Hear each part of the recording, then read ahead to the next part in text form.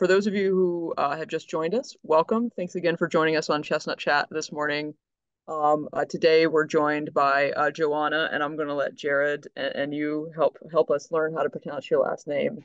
Joanna, help us with that. Uh, or Malukowicz for the Americanized version.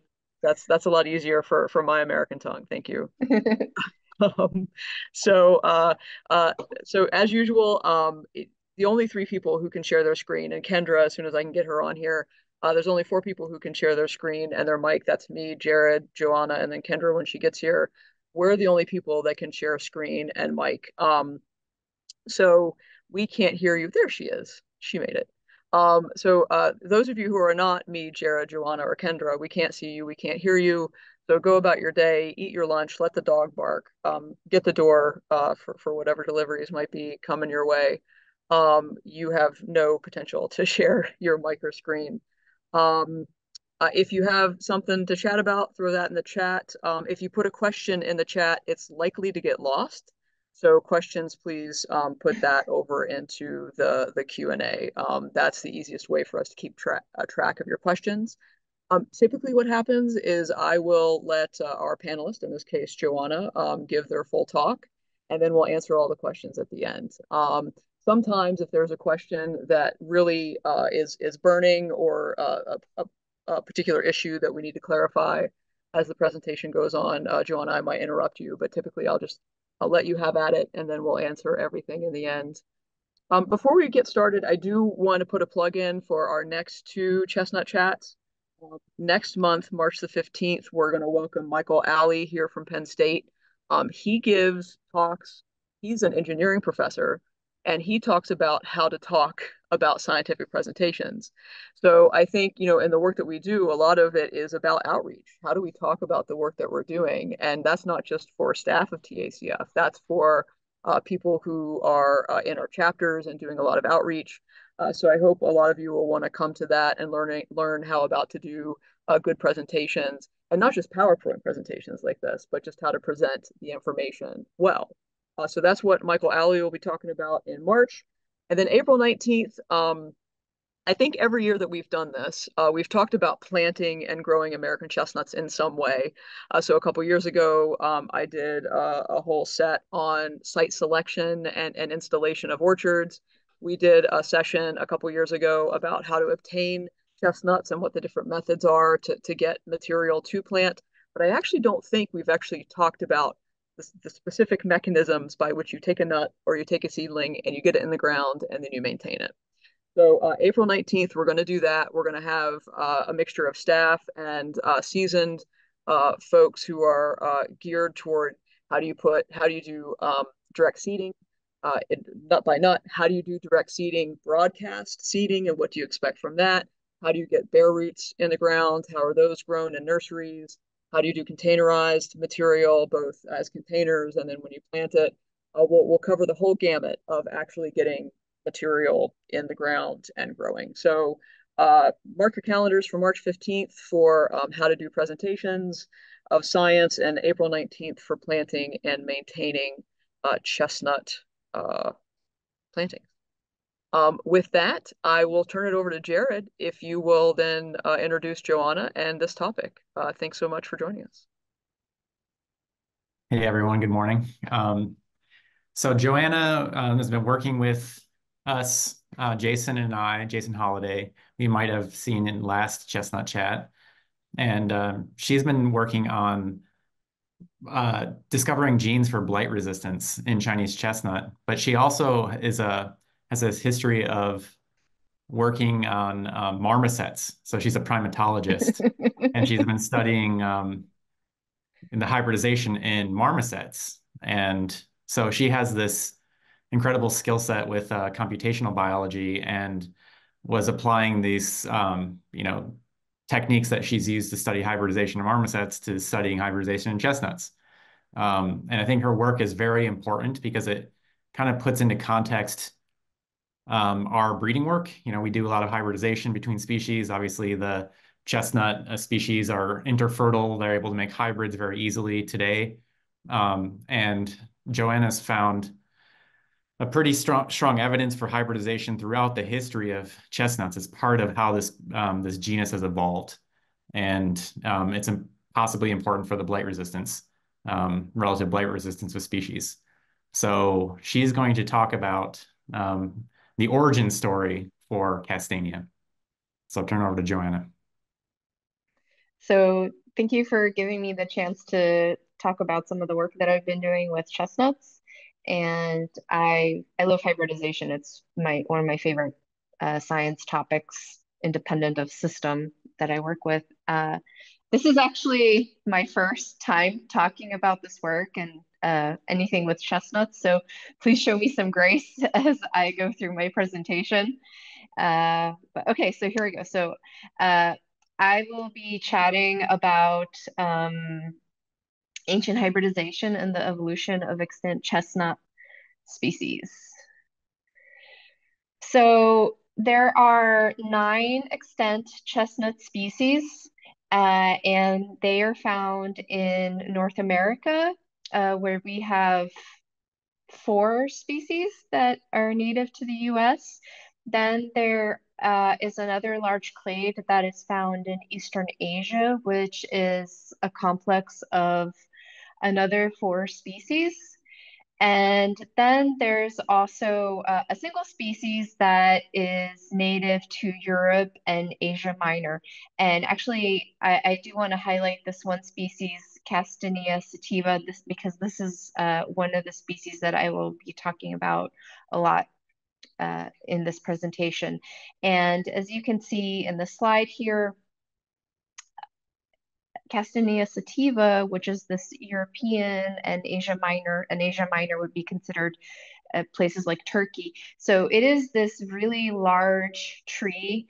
And then uh, Castanea dentata, which is representative of the native of the of the North American species is also a pretty large tree, whereas the Asian species are tend to be smaller and shrubbier, shrubbery. And just to put my presentation and some of the work that I've been doing on chestnuts into context, these are some of the questions that I, have been working on as I, have been working with genomic data on chestnuts. So some of the questions that I'm interested in and that I will address in this presentation are, what are the phylogenetic patterns between Castanea species? What are divergence times between Castanea species? Do we see evidence for global and localized hybridization between Castanea species? And how could the evolutionary history of Castanea Castanea, how could it have been influenced? How could it have influenced the resistance and susceptibility of various species to chestnut blight? And do we see introgression of blight resistant variants from East Asia into uh, Castanea species that are located in other parts of the world? And then I think it's important to just define here what is hybridization and another concept that I will talk about, which is genetic introgression. So hybridization is basically when you have two different populations. It could be at the level of species, but you have genetically distinct populations that interbreed with one another. And it is, and then you get hybrids uh, which are the resulting offspring of these interbreeding populations or species. And then the related topic of introgression is when when you look at phylogenetic history, phylogenetic history historically or normally, divergence patterns go as this is so you know you have a main lineage that breaks off and then you have another lineage that will break off, and then you have uh, these two final lineages, which here these would be considered sister species that diverge from each other. And normally, when we look for similarities and differences in the, the in the genome or the DNA of various species, we will expect more often than not, for sister species, which are the most recently diverged within a group, to share the to share more genetic similarity between each other than let's say A and C or A and this outgroup. But what happens with hybridization and genetic introgression is that you will sometimes have hybridization between two lineages that are not sister species. So in this case here, B, even though it's more closely related to A, actually there was hybridization here between B and C. And in this case, there is more genetic similarity shared between B and C than between A and B. So this sharing here through hybridization, we call this genetic introgression. So I just wanted to define those two concepts because I will be referring to them throughout my talk.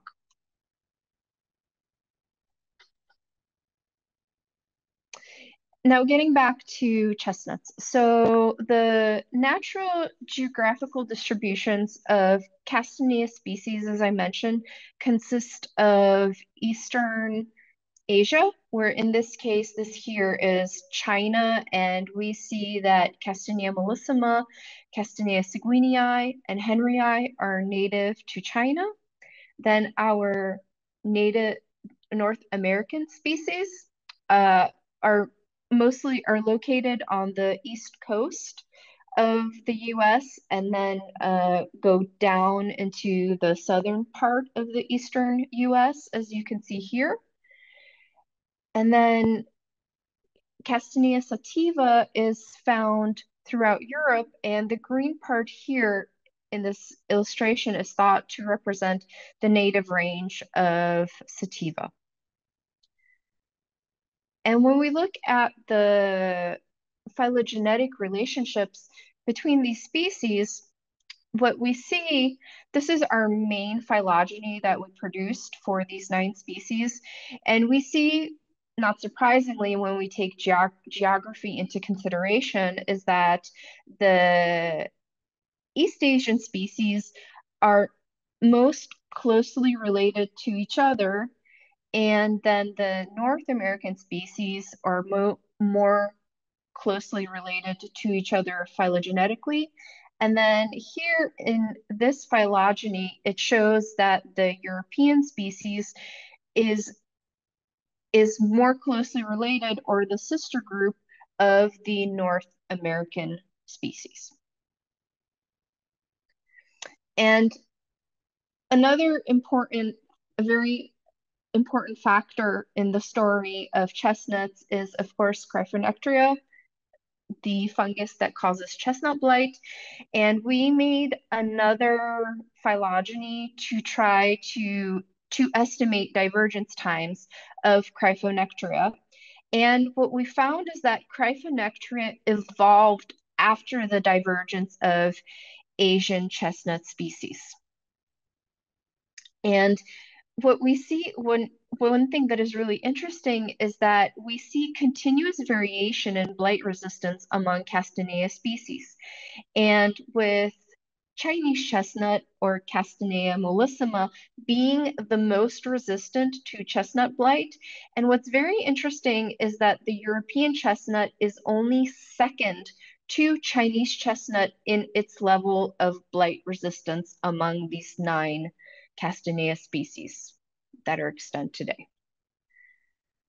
And also too, there are various species of Cryphonectria and Cryphonectria parasitica is the most virulent, whereas the other species of Cryphonectria are less virulent uh, relative to Cryphonectria parasitica. So, okay, now going back to the phylogeny of chestnuts, one really odd thing that we observed when we started first delving into the phylogenetic history of Cryphonectria and the phylogenetic history of chestnut species. And one of the first questions that we were interested in is what are the divergence times of chestnut species? And what are the divergence times of Cryphonectria species? And where exactly in the timeline of chestnut divergence does Cryphonectria parasitica appear? So that was the, the motivation for making phylogenies. And in making these phylogenies, we noticed something very interesting among chestnut species themselves. So I'm going to put Cryphonectria, the, the Cryphonectria question aside for a second, because here things start getting very interesting in the evolutionary history of chestnut species. So usually when you make phylogenies, you want to try to use at least two different approaches to see whether your results agree and give you the same tree or not. And in our main phylogeny, as I mentioned, we saw that the European chestnut groups most closely with North American species. But then we used a slightly different approach to make a different phylogenetic tree, even though these are based on essentially the same set of genome-wide data. But in this second phylogeny here, we noticed that sativa, the European chestnut, actually grouped most closely with the East Asian chestnuts. And we said, okay, this is this is this is interesting. What what could this mean? And this is where the, the whole thing with hybridization started really started to become a snowball. So we looked into the literature to see what other researchers that are working with similar questions on chestnuts are finding, or if anybody else out there is finding anything. And there is a group from NC State that published uh, some work on the genomics and biogeography of Castanea in 2022. And one interesting thing that they found is that based on their genomic data set, they found that the European chestnut could actually be a hybrid between Eastern Asian species and North American chestnut species.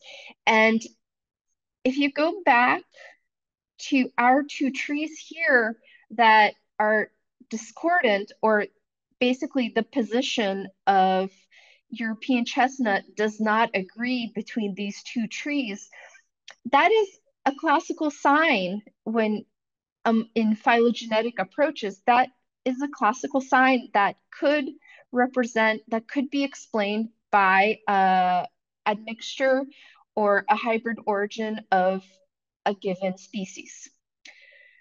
So we looked further into this to see if we could find similar results to, to this paper. And what we actually found was even more complex.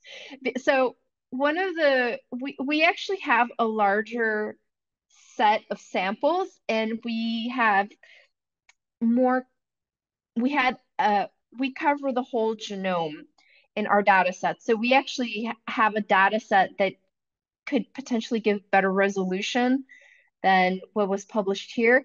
And what we found was that actually, yes, sativa also shows this similar pattern of possibly being a hybrid between East Asian chestnut species and North American chestnut species.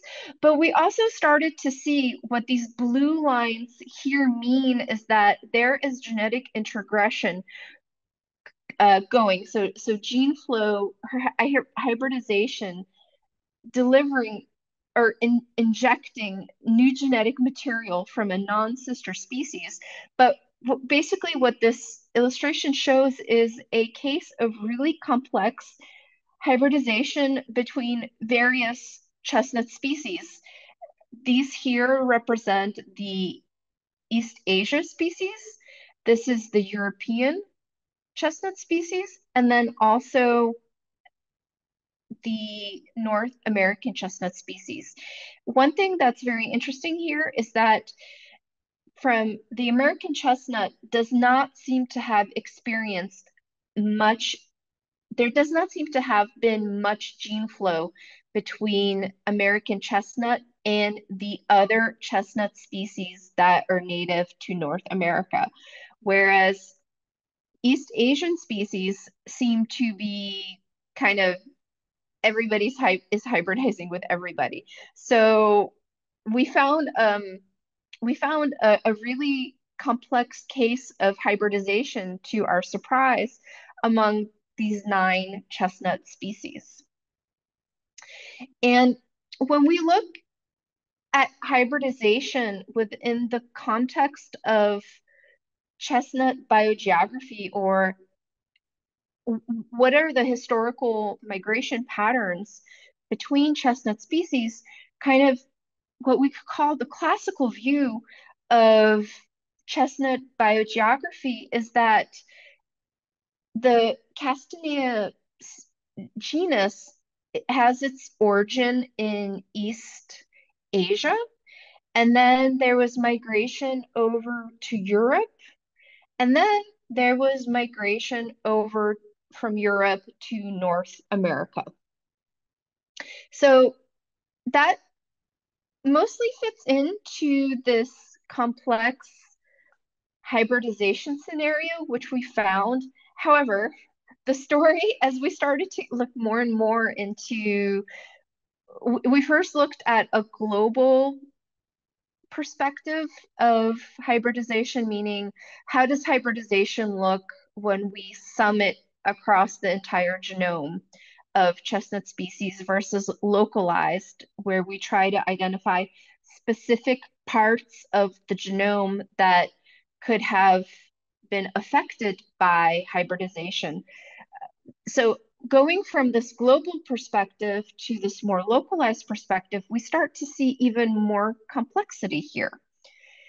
And and what I what I mean by that is that the, so this same group from NC State, they proposed a different sort of view of chestnut biogeography, which, yes, they support that there was a migration of chestnut species from East Asia to Europe to North America.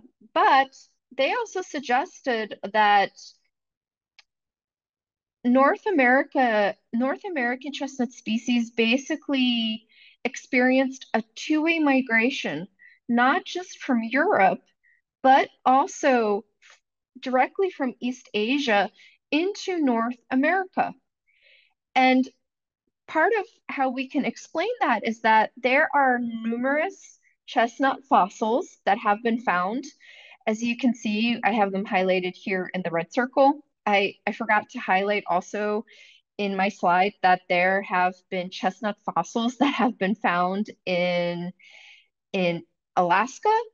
And we know that the, the Bering Bridge used to connect Asia with North America. So that is one possible way that this migration could have occurred directly between East Asia to North America.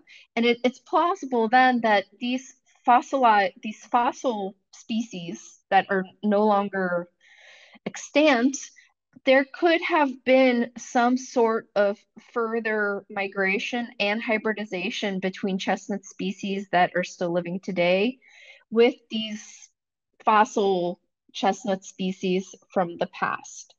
And also here, I put down the evolutionary timelines of when these migrations would have occurred in geological time. These are pretty ancient times on an evolutionary scale, but these, I will talk a little bit about divergence times between, between chestnut species. And basically, the divergence patterns and times that we see between first Castanea appearing and then the divergence of North American species and East Asian species and sativa and the American species, the timelines basically fit these timelines basically fit to the divergence times that we have calculated. So, so anyway, from all of this, we have this question of could North America and Europe represent two different introgression routes between East Asian and Eastern North American chestnuts? So here, just to show you the divergence times between Castanea species. So we estimated that based on data that represents the entire genome of these species, or the entire genomes of these species, we estimated that Castanea probably appeared, Castanea and its closest relatives probably appeared around 60 million years ago. And then Castanea itself probably diverged from Castanopsis around 50 million years ago. And then the split between East Eastern Asian species and the other chestnuts occurred about 40 million years ago. And then the split between the European chestnut and the North American chestnuts would have occurred about 38 million years ago. And these times roughly, roughly fit this pattern of migration suggested by Su and Xiang in uh, 20 in 2022. So, so again, this prompted us to look further into this. This prompted and actually excited us to look further into, well, is there evidence for introgression and hybridization uh, amongst chestnut species?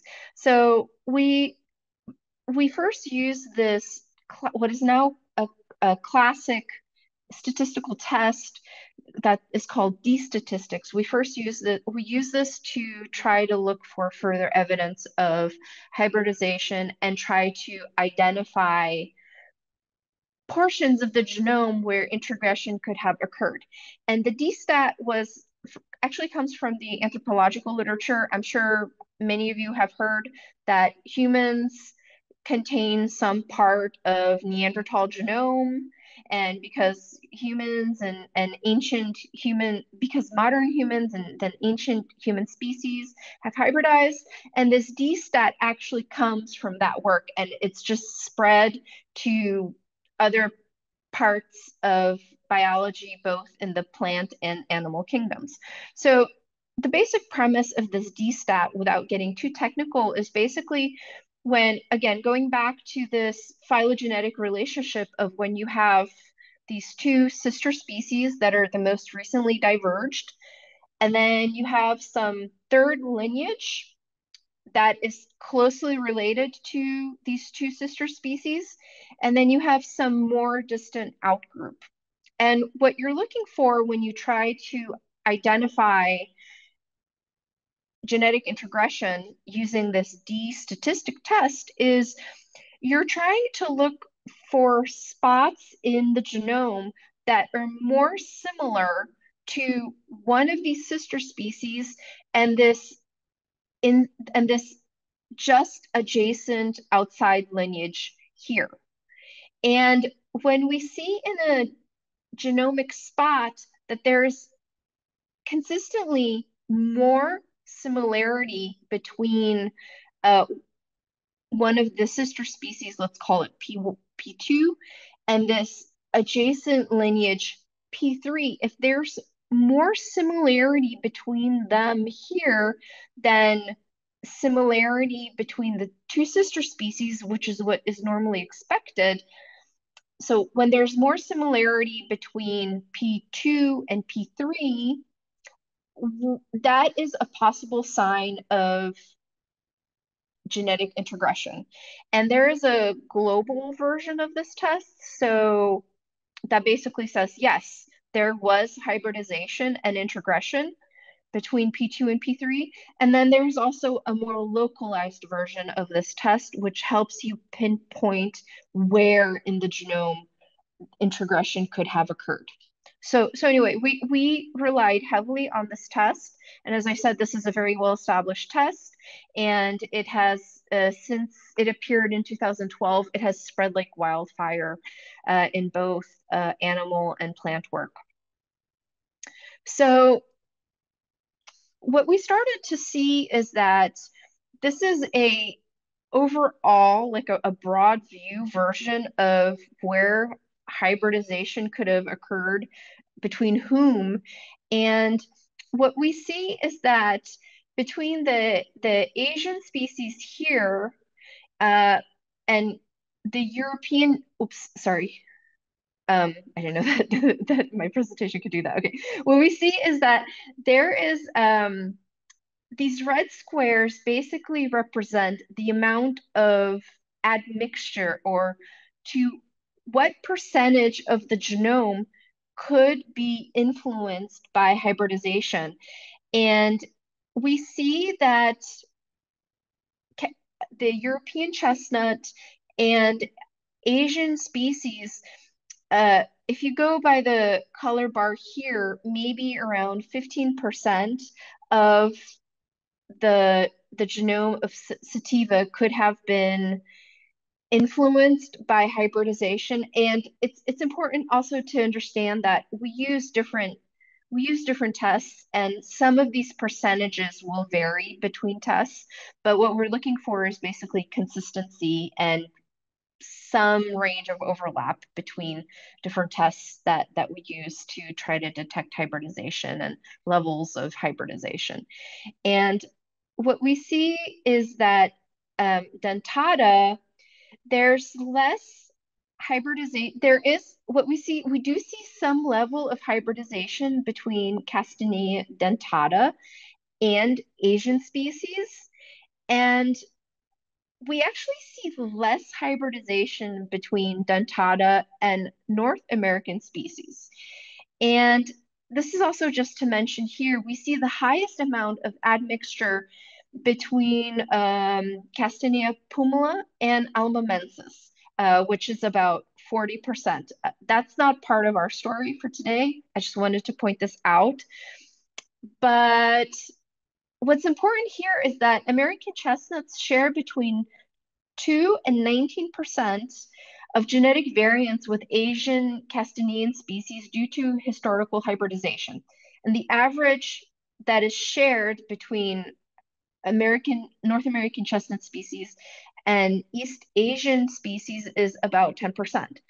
And you have to think, well, if if chestnuts migrated first from East Asia to Europe and then Europe to North America, how do you explain how do you explain uh, us picking up some sort of signal of hybridization between, for example, Ozarkensis and Asian species, and then dentata and also Asian species? How do you explain that with this model of one way migration into North America?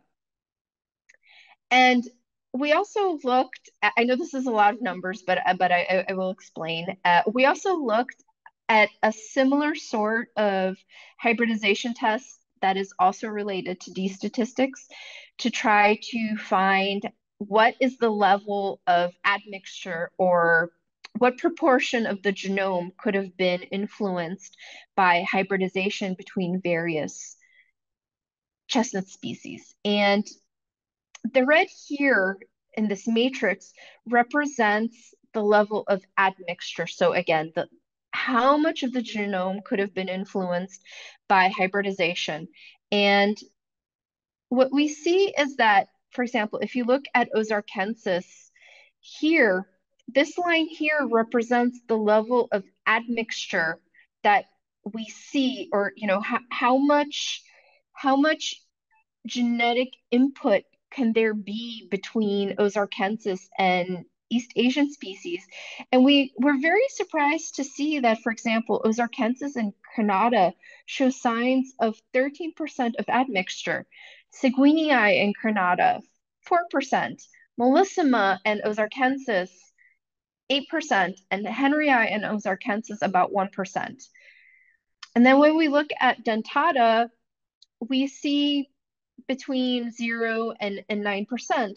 So, and then when we go to sativa, we see admixture between sativa and North American species and East Asian species. And then again, to point this out, the highest level of admixture we see between Pumila and alabamensis, you know, which are two North American species. But again, these various metrics really made us go, huh, can this can this one way one way model of migration between chestnut species into North America really explain these patterns? Or can it be really that North American chestnut species received migration of other chestnut species into North America directly from Europe and directly from East Asia? And these, these numbers really do suggest that it is this two-way migration into North America that has influenced the evolutionary history of chestnut species. And so then the next sort of analysis that we did was try to identify localized regions of hybridization across the genomes. And these are these sorts of plots just, just so you can kind of understand what we're looking for. So um, the, the blue part here represents the centromere, which is a region of the genome because of its biology, we automatically discounted any sort of candidate regions here. But basically what we're, we're looking for is that we have a certain threshold that we determined and any and we look at a certain metric and any genetic locus that has a value of a metric above this threshold line is a potential introgressed is a potential introgression region. And so here we were interested in knowing if that is there unique introgression between East Asian and North American chestnut species that did not come via hybridization between Europe and Asia Minor with East Asian chestnut species. So what we did is we looked at putatively introgressed regions between various combinations of, if you remember the, the D-stat illustration that I showed with the sister species being P1, P2, and then the adjacent species being P3. We looked at we looked at a case for if Pumila and Sativa or P2 and P3. If Crenata and Pumila are P2 and P3, and then if Sativa and Crenata are P2 and P3, so different combinations of, so basically we're asking is if there is introgression between Pumila and Sativa, if there is also introgression between Crenata and Pumila, and if there is introgression between Sativa and Crenata, how many regions across the genome are shared by these species? How many regions of potentially that are potentially introgressed are unique between these species? And then where do we see uniqueness and where do we see overlap? And what we found is so what we found is again that these numbers support this idea of two-way migration into North America. And so what we see is, for example, uh, Sativa and Crenata, there are about 1,500 regions that are introgressed between these two species under a scenario of hybridization that are unique in this pairing. And that, this is the highest number of loci here. But what's very interesting is that we also found regions that are unique to this pa pairing of hybridization being Crenata and Pumila. You know, two species, one is in North America, Eastern North America, and the other one is in Eastern Asia. Uh, and then we also found regions that are unique, uh, that are potentially introgressed under a scenario of hybridization between Pumila and Sativa, so um, between a North American species and a European species. And these numbers really do support to us this scenario of two-way introgression into North America. And then probably the plot that we're the most excited about to show is that when we ask this question, going back to Cryphonectria, does introgression from Chinese chestnut explain the high blight resistance of European chestnut? And so what we did is we overlapped our regions of introgression, for example, between dentata and mollissima. So these are regions here across the genome separated by chromosomes where we think introgression happened. And then we also have this other line here between sativa and mollissima, and again, introgression. And these are all the spots where we think introgression may have occurred when these pairings of these species hybridized. And then here, uh, these lower regions here, these last four lines, represent regions of quantitative trait loci, where basically these are regions in the genomes of chestnuts where we think blight resistant genes are located. And what's really incredible is that if you look at where introgression happened in the genome between sativa and mollissima, you see really strong overlap between the regions that we have identified, Jared, uh, not me. I, I, did mostly this part and then Jared did this part here. But anyway, um, we see strong, very strong overlap between um, these introgression regions between European and Chinese chestnut. And you see much less introgressed regions overlapping with QTLs and uh, introgression between dentata and mollissima. So, you know, we're, we're still kind of sorting this out and working through our results, but it does seem to suggest that ancient hybridization plays a very important role in which chestnut species evolved resistance to Cryphonectria and which species didn't, as well as not only who, because this is a give and take, but also the level of Cryphonectria resistance that we see among various chestnut species. We think that this can be largely explained or importantly explained uh, as hybridization. And also we, our data seem to support uh, this idea that there was two-way migration of chestnuts into North America directly from Europe and, and East Asia. So, and the sort, the sort of next steps that we will be taking is modeling biogeography of chestnut species based on our data. And then I just want to say a big thank you to Jared Westbrook, Jason Holliday, as well as a former PhD student, Alex Sandercock, who was a PhD student with Jason. And I just wanted to say thank you for letting me work on this exciting data and uh, letting me make a contribution to understanding chestnut evolution and biology. So thank you. That's my presentation. Great job. Thanks so much. Um, lots of clapping hands, lots of kudos in, in the chat and the Q&A. Um, and I, I want to thank Jared too, because he's been feverishly typing in the Q&A, answering a lot of these questions. Um, so what I'm going to do, I'm going to go ahead and ask you some of these, even though he's answered them in the written form. I still think it'd be good to get um, some of these out for folks who may not uh, be following that in the Q&A, and also just to get your take on some of these, and, and Jared too, if, if he wants to chime in, um, that would be totally fine. Um, let's start with a question that, that Jared didn't get a chance to, to type in yet. Um, so Terry uh, Terry Sherrick asks, can we assume that there is no backcrossing of the non-sister species hybrids the parent species?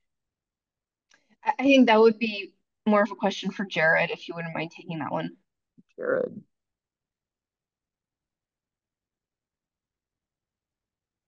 Can we assume that there is no back crossing of the non-sister species hybrids to the parents? No, there's probably been plenty of back crossing. Um, and you see from Joanna's um, figure that, like, for example, with um, the integration between um, European chestnut and Chinese chestnut, the region. Are this one? Or no? Um, the, this one. That, this one, yes. You see that the regions of the genome that are shared between the European chestnut and the Chinese chestnut are all over. Um, so it's likely that these um, hybridization events were numerous, um, and there's probably been some selection to retain some of those like regions of the genome that have been um, shared between the species. And we've been kind of looking for like, are, are any of these adaptive? Like, um, and so we look for signatures of natural selection in these introgressed regions. And yes, we find that they are um, selected for and that they do occur in blight resistance QTLs. Um, so it suggests possibly that, especially in this figure, um, that that introgression has might explain why the European chestnut actually has pretty high blight resistance, second only to Chinese chestnut, um, and that that's been retained um, over time through selection because um, they could easily be lost through back crossing back to sativa, for example, um, but it's been retained. And it also kind of tells us this kind of concern about the purity of the species, like that we're trying to maintain American chestnut, and there there is an American chestnut that's pure and separate from these other species. Um, it's it, I'm not saying there's not species of chestnut, but that they're not as clear cut as we had thought, and that when us doing the hybridization work is not necessarily out of the norm of what the species has experienced or what the genus has experienced um, throughout its history. Um, it, and I think to follow up on that, I, I was actually um, surprised too to see that that European was second only to to Chinese. Um, I uh, Bruce Levine asks, uh, or he says, I was surprised to learn that sativa is so resistant. Where does this conclusion come from? He asks. Um, that was from Hill Craddock. We did a small stem assay last year, and she'll show you the um, results here. So last year, thank you to people sent people from like all over the U.S. Uh, sent in seeds uh, from Chinese chestnut, Japanese chestnut, and all the different chestnut species to University of Tennessee Chattanooga, and we um, Hill Craddock grew these beautiful seedlings that were like five feet tall um, in their first year and we inoculated the stems uh, with chestnut blight for all these species. And this is what we came up with. Um, this is just looking at, you know, comparing the different species. And you can see dentata, American chestnut is the least resistant, and Chinese chestnut is the most resistant. Um, and European chestnut is second and not significantly different than um, Chinese chestnut. And even Ozarkensis and these uh, chinkapins are actually have intermediate blight resistance, which is also very interesting. Um, and the Asian species, Seguinii and Henryi, actually have low resistance, which was surprising to me. Because um, that, you know, the chestnut blight has been Asia in Asia. We think it's from Asia. Um, why wouldn't these species be resistant, um, as resistant to blight? Um, one of the things that was weird is that the they didn't grow nearly as well um, in the same pots um, with that hill was growing the other species and optimized American chestnut. So it could be some artifact of the experiment. I don't know. Um, but it's quite interesting that the, the Asian species are not all universally resistant. I'd like to, I'd like to see that repeated in, in the field too, and not just not just SSAs, but certainly yeah. certainly interesting. Um, Russell asks, and I have to ask this too. Uh, he said he directed it to me. I have no idea, but maybe you guys know. Where can we get a chestnut leaf fossil? That's pretty cool. Anybody have any any lines on that? You could get pictures from Wikipedia. Oh, in hand. Well, I know I know Russell really loves rocks, so you know if anyone has a, a bead on one of those, you know, let's see if we can get get one in Russell's hand or mine. I'll take one.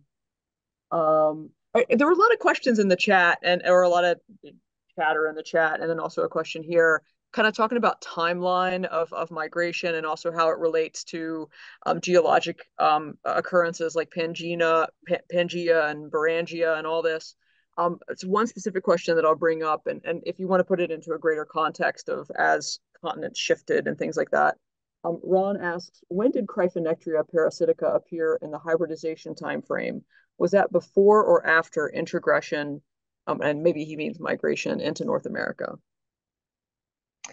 So there, I, I should I, I should have put in the um, phylogeny and the divergence times of Cryphonectria, but uh, there are so the Cryphonectria parasitica appears after all of the migrations, but there were also other Cryphonectria species that were around, and so those resistance genes were probably already there. And I would think that probably th there's this concept of pre-adaptations. So it could have been that uh, older Cryphonectria species had already been influenced, had already caused evolution and some sort of resistance uh, in Asian species. And those those those resistance genes could have spread and as sort of as pre-adapt pre-adaptations to Cryphonectria parasitica. Okay, thanks. Uh, so Mark Double here, uh, relatively recently retired from WVU, um, worked a lot with uh, or in the Department of Plant Pathology there at, WVU. He says our data in West Virginia from the inoculations of American, European, Chinese backcross showed that the European was just as susceptible as American chestnut. Uh, these were inoculations into trees rather than seedlings. So yeah, it sounds like that might be might be worth um, replicating. I mean, it doesn't um, uh, void any results of the hybridization certainly, but but then has implications of what the what the interpretation then would be, right? If um, European isn't necessarily. And my my general experience with with I, would be surprised to see that Japanese isn't more resistant than than European. Um, would you guys have any comments on that, just in general, based on what you're seeing from from the hybridization patterns? Do you want to take that one, Jared? Repeat the question, Sarah.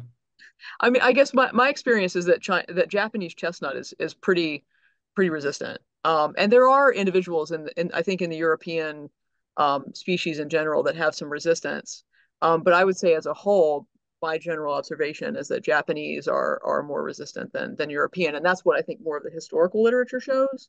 Um, so I'm just curious if you can speak to that and and what the implications might be for what you're seeing in in in the hybridization results.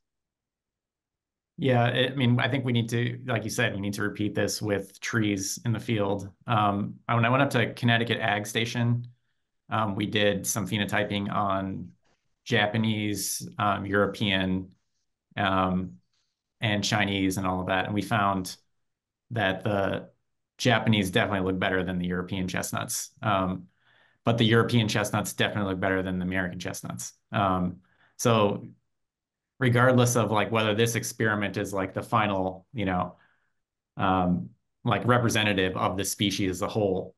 Um, I think the conclusion that there's continuous variation in blight resistance among the species is a very plausible um, finding. Um, and that it kind of matches with this idea that there's probably hundreds of genes involved in blight resistance.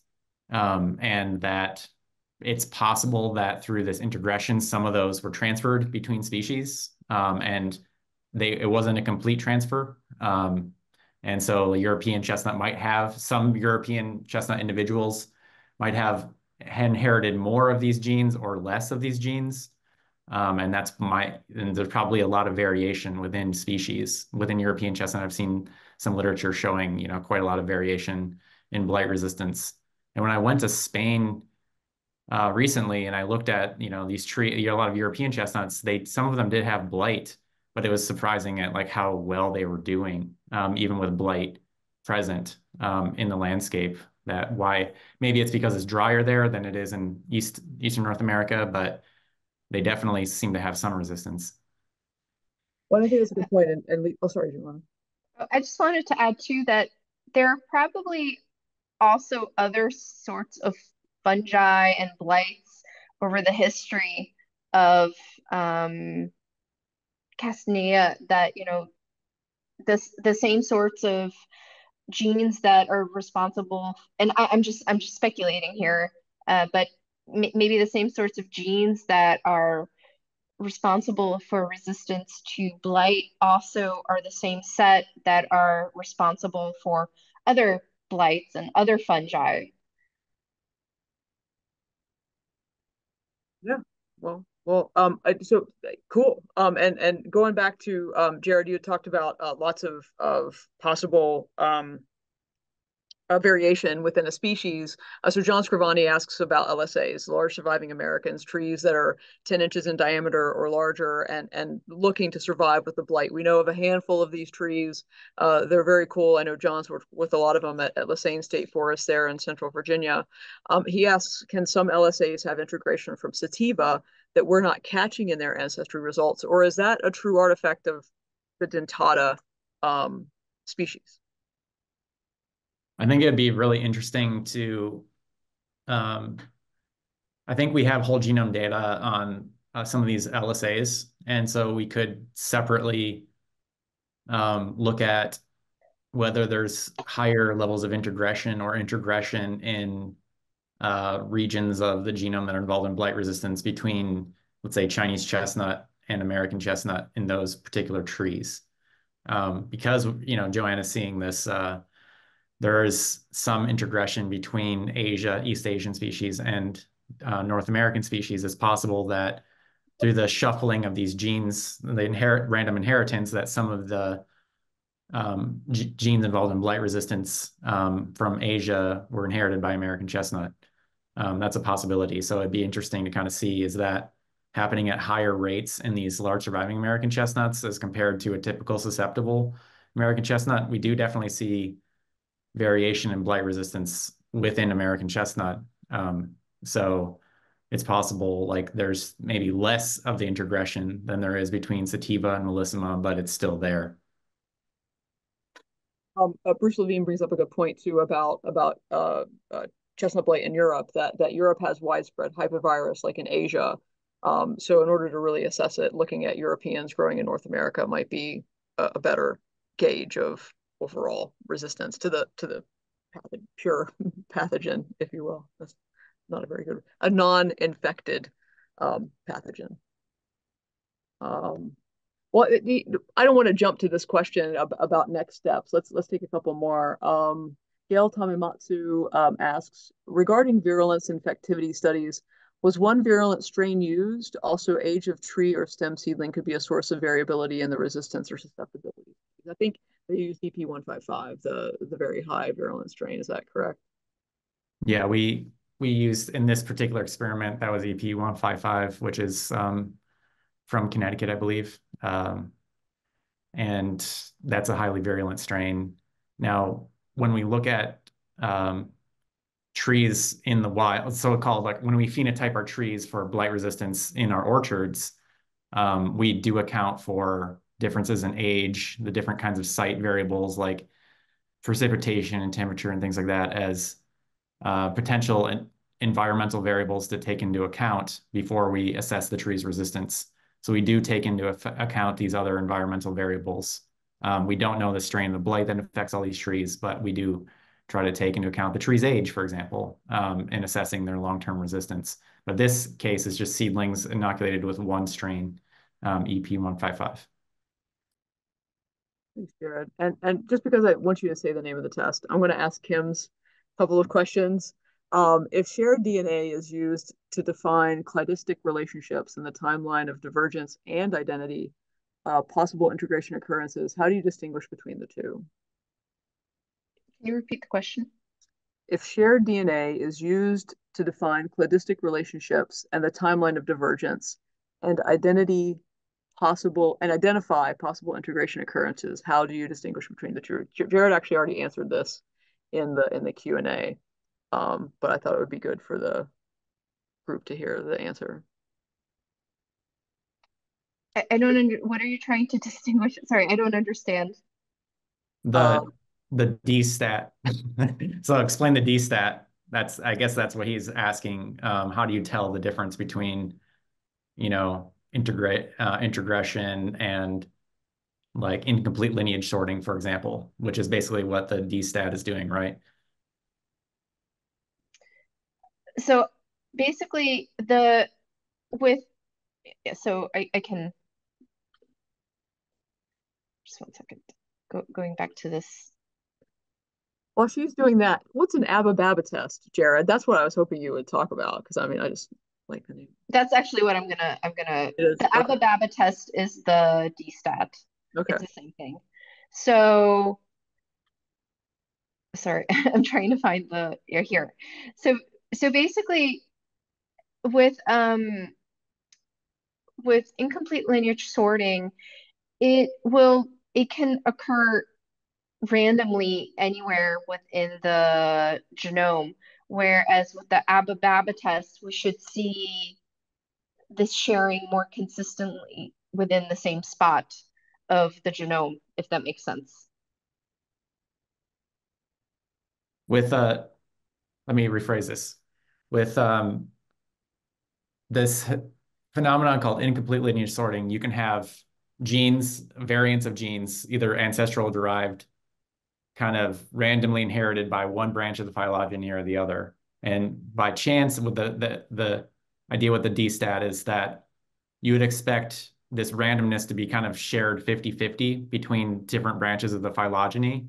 But if you see that you get derived more derived alleles shared between two non-sister species, like in this case, um, P2 and P3, um, then you see like an excess of that, like let's say 70% of the genes are like this pattern, the P2 and P3 sharing versus P1 and P2, then you would say that that is probably due to introgression and not due to random chance, due to the um, inheritance, the random inheritance of these um, derived alleles and in the as as the species are diverging. I think that's the basic idea. Do you is that how you understand it, Joanna? Yep. This was, by the way, this was invented to uh, look at introgression between humans and Neanderthals. Um, and so that was that was like in 2010 that paper came out, and they found that humans and Neanderthals share about five percent of the DNA um, due to this introgression. And uh, chestnuts share more than humans and Neanderthals. So just to put, point that out, that it um, the level of, of breeding between chestnut species is higher than between humans and uh, closest relatives. And, and the timeline divergence between humans and Neanderthals versus chestnut species. Chestnut species are much older, and the hybridization goes back much deeper than, but yeah. But also, plants tend to hybridize much more easily than animals. That's true. That's true.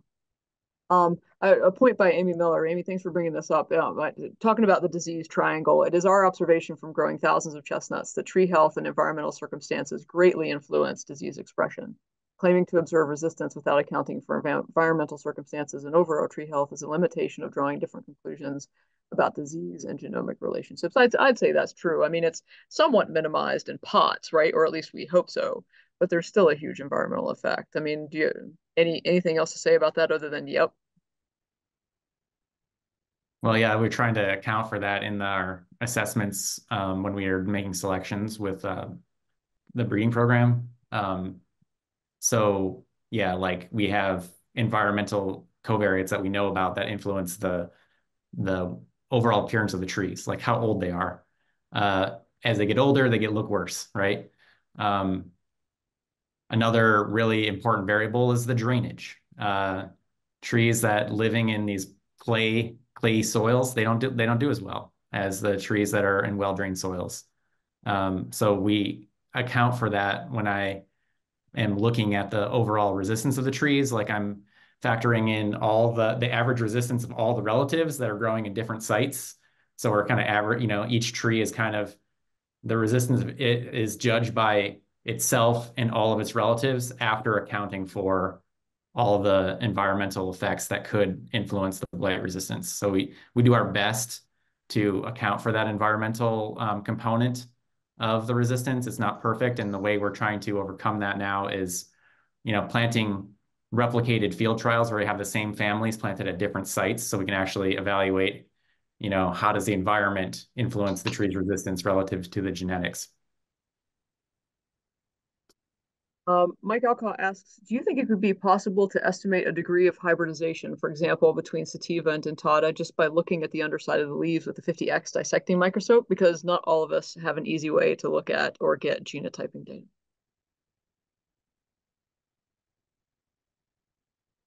Well, maybe you could do that, Mike, and then we can get the genotype data and we can tell you if it will work. I like it. Um, let's see. I don't know. An anonymous attendee uh, states it's not really a question, but I'm kind of curious to get your take on on this uh, this statement. Uh, the forests of the Smokies in China are similar due to connection before breakup of Pangea, and and that I uh, Jared, you had mentioned that that Kim and and uh, Fred Paillet and and and myself had talked about some of the Chinese chestnuts we had seen in China, and and it's my observation that when, when we were walking through those forests, it, it looked almost exactly like the forests of the southern Appalachians, and like all the species were very similar. It's it's pretty uncanny actually. Um, he goes on to say the crossbreeding does not seem to make sense. The tree migrating over these large distances and climates seems next to physically impossible outside of the Eocene, which was very warm. The theory is interesting, but seems not consistent with geology and climate over the eons, unless there are some supersized flying squirrels. So I don't know if you want to comment on that or if there's any any additional explanation there. Well, I think, um, well, I... yeah, go ahead. No, go ahead. Go ahead. The fossils. this like look at the fossils. Um, that fossils exist in uh, Asia, um, and in Alaska and the Rocky Mountains and in Greenland, chestnut fossils. So there's definitely a pattern of polar distribution during the Eocene.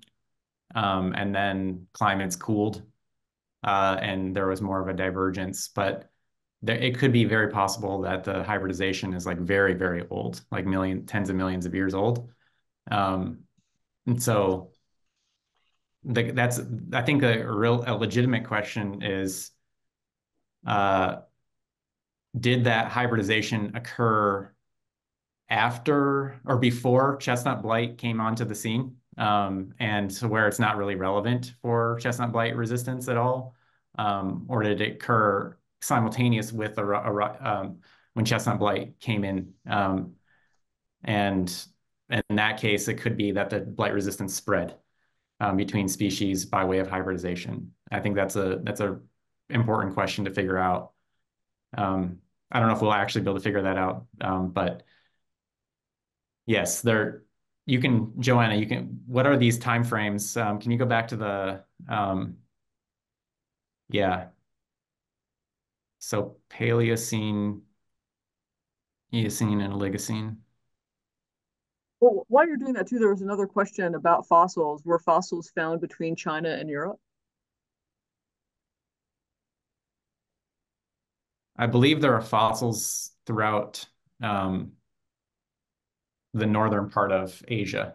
Um, so there's, there's, a Castanea ancestor AC here between A and C.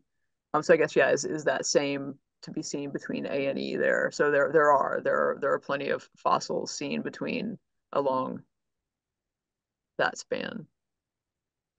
Yeah, it doesn't look like there's fossils here um, in Europe across northern Europe. Um, I've seen that. Uh, when the climate cooled after the um, Eocene and the Oligocene, like 30 million years ago, that's when like deserts formed um, in the center of Asia, like the Gobi Desert, and that probably split the the population into two: the European chestnut and the East Asian species split around then, and that co corresponds to Joanna's divergence dates. Okay. Cool. Well, there's a few more questions, but I think we'll we'll wrap up a little early today, um, just uh, to to get moving along. Um, last question I'm going to take from Mateo. Um, what are the next steps in research after all of these results that have been found, or what would it be, or what would you like to be researched further in rela relation to these results? What what are the next steps? I, I think we do, well, so the we still these are relatively new results that we that we're showing. So we definitely have to digest this a little bit more, but I think having um, doing some further biogeographic analyses based on our data to, you know, to because right now we're we're using biogeographic analyses of other researchers which had slightly different data sets and uh, slightly different genomic data sets as well. So, um, so they had reduced data sets in terms of the representation of the, geno the genome, the which species they used. So I think it's important to for us to also conduct our own set of biogeographic analysis to make sure that there's not concord that there's concordance between what other researchers have shown as well as that our data, the biogeographic analysis supports the hybridization analysis.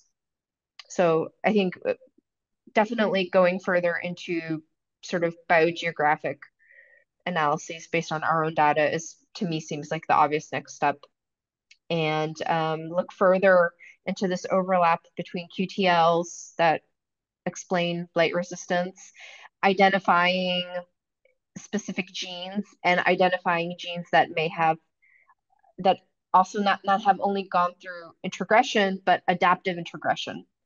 And also you know put into better context the evolution of Cryphonectria and divergence and hybridization. Those are the sorts of next step things that we will follow up. Jared do you want to add anything well yeah joanna you had um, you know, we didn't get to show this, but Jason showed it last time is like we had done, we had looked at what genes are expressed um, in the stems of Chinese chestnut versus American chestnut when they're infected with blight and found some unique um, genes that are expressed specifically in Chinese chestnut, for example. And it'd be interesting to know if any of those uh, potential resistance genes are in, in regions of the genome that seem to be um, undergoing introgression between species. Um, so can we, yeah, that's a way to pinpoint it. So I think wrapping this up into one story, it's a really nice story, I think. If we look at, you know, the biology of uh, Cryphonectria resistance and wrap it in with the hybridization story, I think that makes a really nice paper um, to discuss. Uh, and so hopefully that's like, that's our nature paper. hopefully, we'll see. We'll see how it goes. Um, well, this is great. Uh, thank you guys so much, Joanna. This is this is really fantastic stuff. Jared, I know you were integral. I see both Alex and Jason on here, so thank you guys for all your support for this work. Uh, moving forward, it's really important to help us better understand uh, this connection between the disease and um, or between the, the the pathogen and and the the host. Um, so really important work moving forward. Um, uh, just again, uh, Kendra put a link in the chat to our archives. So we'll process this recording as quickly as we can. It should be up on uh, the Chestnut Chat archives uh, by early next week. Kendra put a link to those Chestnut ar uh, Chat archives, or if you just Google Chestnut Chat archives, you will find them uh, quite easily. March, we're going to talk about how to talk about science. April, we're going to talk about planting chestnuts. Um, got a couple other uh, subjects in the works for the um, upcoming year, but if you guys do have any uh, uh, requests, let me know because I got a couple months that are open and always looking for topics that you guys want to hear about. So thanks again for joining us, and I hope to see you uh, a month from now. All right, take care.